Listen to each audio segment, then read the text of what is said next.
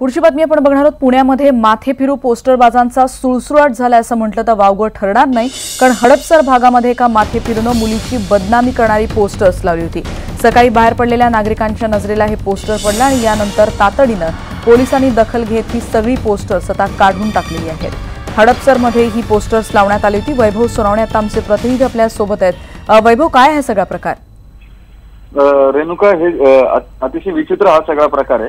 एका तरुणानं ब्रेकअप झाल्यानंतर या मुलीची बदनामी करणारी पोस्टर जी आहेत भित्तीपत्रकं जी आहेत ते अक्षरशः प्रिंट काढून कॉलेजच्या सगळ्या भिंतीवरती लावलेली होती. आणि साधारणपणे सकाळी सात वाजता पहिल्यांदा मॉर्निंग वॉकला जाणाऱ्या काही काही लोकांनी ते वाचल्यानंतर त्याची माहिती पोलिसांना दिली. नऊ वाजेपर्यंत ही पोस्टर जी आहे ती तशीच होती. पोलिसांना माहिती मिळाल्यानंतर तात्काळ हडपसर पोलीस स्टेशनचे मार्शल्स आहेत. त्यांनी जाऊन साधारण दहा ते वीस ठिकाणी चिटकवलेली ही पोस्टर जी आहे ती काढून टाकली.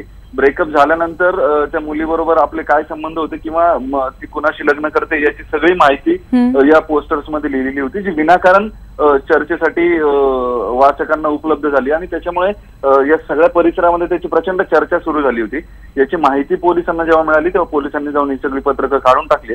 मात्र तो मुलगा कोण आहे हे स्पष्ट होऊ शकलेलं नाही कारण या पत्रकामध्ये मुलाचं आणि मुलीचं दोघांचेही फक्त सुरुवातीची नाव आहेत.